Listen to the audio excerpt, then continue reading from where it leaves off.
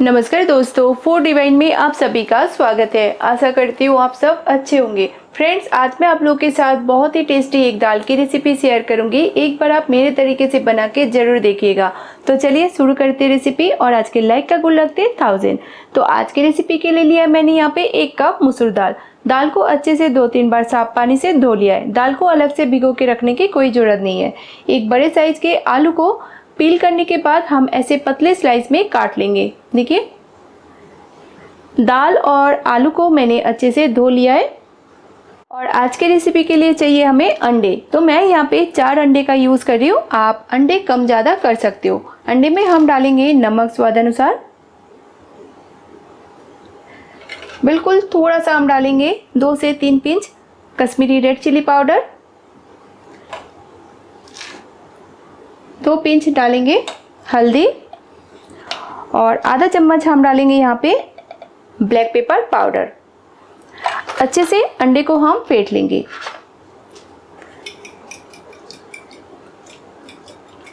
अंडे को मैंने अच्छे से फेंट लिया है। तो चलिए चलते हैं नेक्स्ट स्टेप की ओर।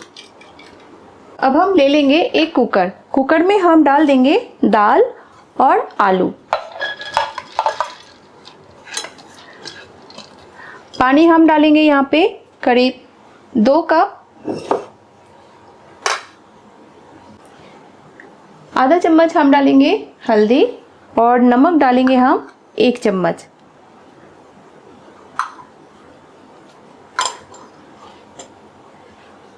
एक छोटे साइज़ के प्याज को छोटे छोटे टुकड़ों में काट लिया है।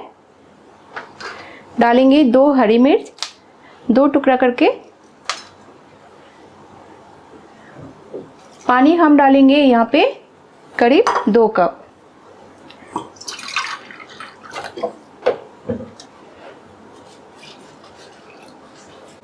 एक चम्मच अदरक और लहसुन का पेस्ट और एक चम्मच हम डालेंगे तेल, सिर्फ़ एक चम्मच। गैस का फ्लेम हम ऑन कर देंगे।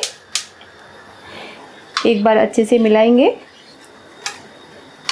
कुकर को हम बंद करके दो सीटी आने तक मीडियम फ्लेम में दाल को कुकर में पकाएँगे। दो सीटी आने के बाद हम गैस का फ्लेम बंद कर देंगे। तो गैस का फ्लेम मैंने ऑन कर दिया है। कुकर को हम बंद करेंगे और मीडियम फ्लेम में हम दो सीटी आने देंगे। दो सीटी आने के बाद गैस का फ्लेम हम बंद कर देंगे। दाल को मैंने दूसरे चूल्हे पे ट्रांसफ़र कर लिया है। अब हम एक पैन ले लेंगे। पैन में हम डालेंगे एक चम्मच तेल। तेल को हम पहले गरम कर लेंगे। तेल को हम पैन में चारों ओर फैलाएँगे। और जो अंडे हमने फेंट के रखे थे, वो हम दो बारी में फ्राई करेंगे। तो तेल जैसे ही हमारा गर्म हो जाए, हम डाल देंगे यहाँ पे अंडे। गैस का फ्लेम हम लो मीडियम करके नीचे की ओर पहले अंडे को फ्राई करेंगे।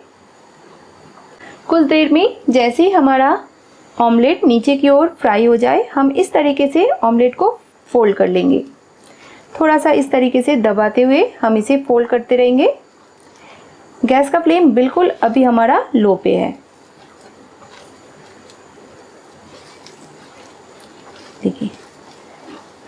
कुछ देर हम इसी तरीके से रखेंगे, फिर हम पलट देंगे। अच्छा सा जब तक कलर चेंज ना हो जाए।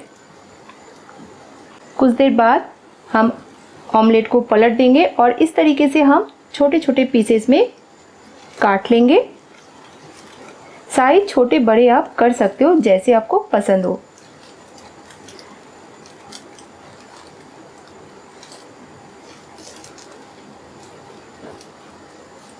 देखिए, ऑमलेट हमारा अच्छे से फ्राई हो गया है। देखिए, दोनों ओर से बहुत ही सुंदर सा कलर आ गया है। हम निकाल लेंगे और इसी तरीके से दूसरा ऑमलेट भी हम फ्राई करके कट कर लेंगे।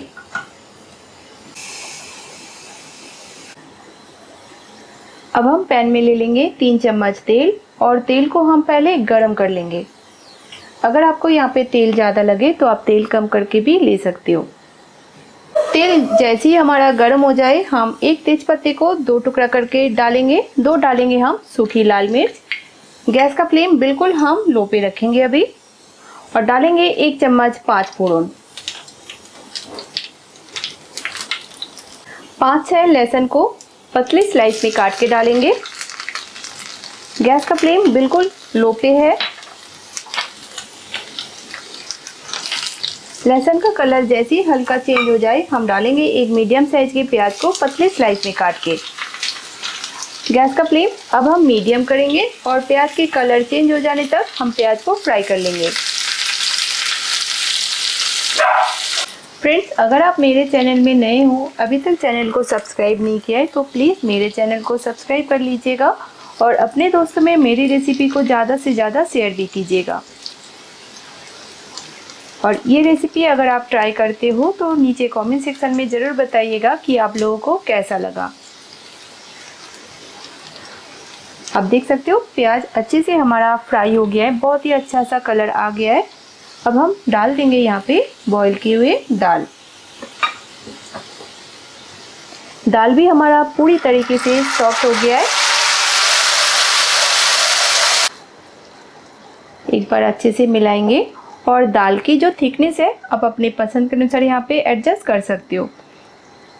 तो यहाँ पे दाल को अभी दो से तीन मिनट पकाना है तो मैं यहाँ पे हल्का गुनगुना गर्म पानी डाल रही हूँ। वन फोर्थ कप एक बार हम मिलाएँगे और डाल देंगे हम यहाँ पे फ्राई किए हुए ऑमलेट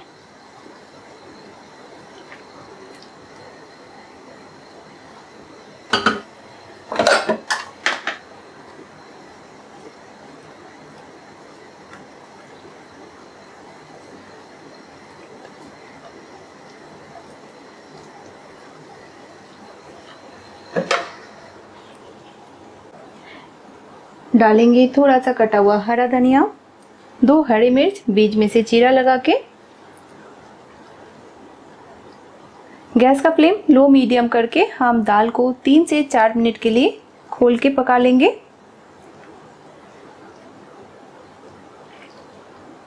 मुझे थोड़ा सा नमक कम लग रहा है तो मैं यहाँ पे नमक डाल दूँगी, आधा चम्मच।